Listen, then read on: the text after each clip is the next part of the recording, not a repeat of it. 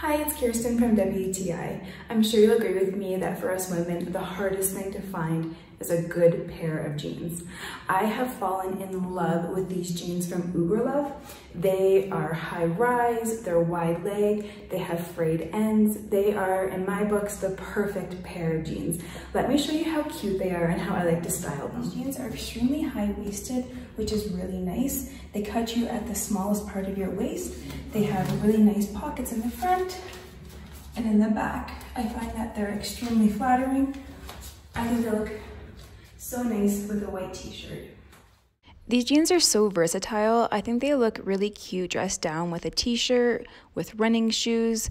I just love the length, but then I throw on a fancy blouse and some high heels, and I just feel like they transition so well. Wide leg jeans are so flattering, I think, on any body shape, and I just love the features of these jeans in particular. The frayed edges are so cute, really good quality denim, and I love how high waisted they are. So every woman needs a good pair of black jeans in their wardrobe.